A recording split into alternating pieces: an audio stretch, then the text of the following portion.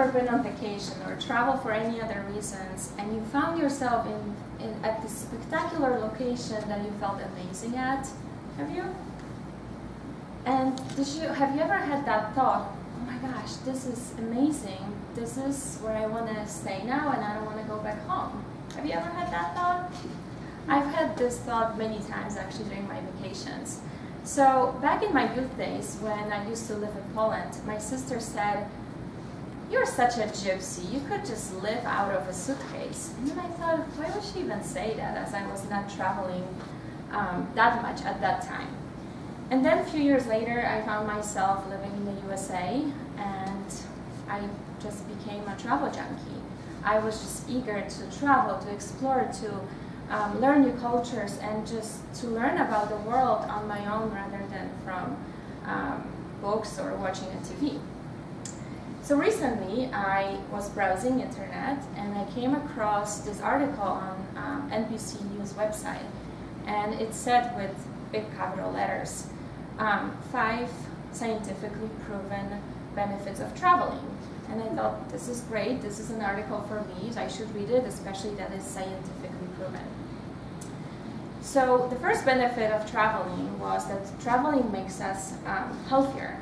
Um, according to the article, uh, women who actually vacation at least twice a year, they are less likely to develop um, health problems like heart attacks, for example. Um, the same with men. Men actually who travel at least once a year, they are um, lowering their risk of death and um, heart issues.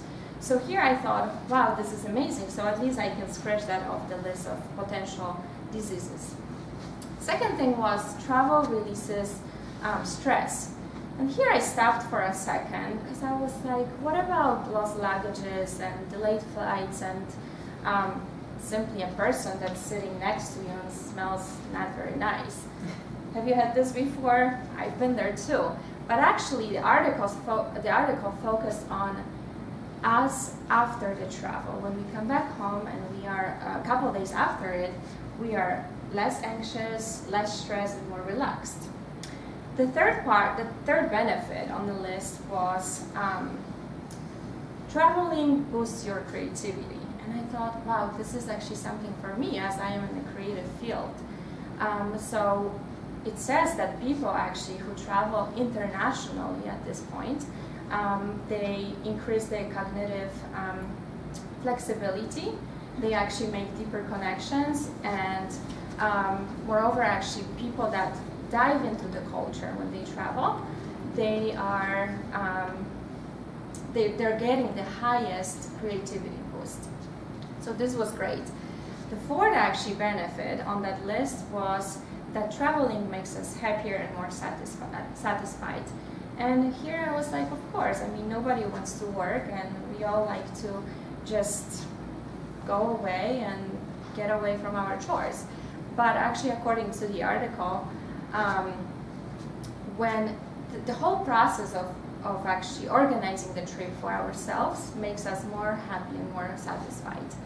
And the last one on the list of benefits that um, uh, travel gives us is that travel decreases the um, possibilities of getting actually depression, um, which I thought was very huge because nowadays probably some of you had maybe family members or even yourself um, suffer from depression at some point.